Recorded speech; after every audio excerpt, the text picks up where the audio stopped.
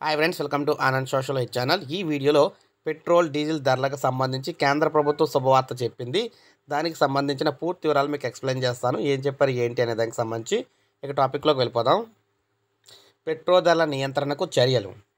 ఇక్కడ ఉరుముతున్న petrol diesel ధరల భారం నుంచి వినియోగదారులకు ఉపశమనం కల్పించేందుకు కేంద్ర ప్రభుత్వం తగిన చర్యలు తీసుకుంటుందని చెప్పేసి పెట్రోలియం సహజ వాయువుల శాఖ మంత్రి హర్దీప్ సింగ్ పూరి పురి రాజ్యసభకు తెలిపారనమాట కాంగ్రెస్ సీనియర్ నేత ఆనంద్ శర్మ అడిగిన ప్రశ్నకు మంత్రి జవాబులు ఇస్తూ పెట్రోల్ డీజిల్లను జీఎస్టీ పరిధిలోకి తీసుకొచ్చే ప్రతిపాదనకు జీఎస్టీ మండలిలో సానుకూలమైన స్పందన రాలేదని వెల్లడించారు.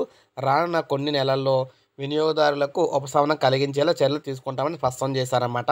సో అంటే దీన్ని బట్టి మనకి ఏమర్థం అవుతుందంటే రానున్న రోజుల్లో పెట్రోల్ డీజిల్ ధరల మీద అమౌంట్ అయితే తగ్గిస్తామని ఇవన్నీ తగ్గించి డి అంటే జిఎస్టీలు తగ్గించడం ద్వారా పెట్రోల్ డీజిల్ ధరలు అయితే తగ్గిస్తామని చెప్పేసి డైరెక్ట్గానే ఇక్కడ పార్లమెంట్లో చెప్పడం అయితే జరిగింది.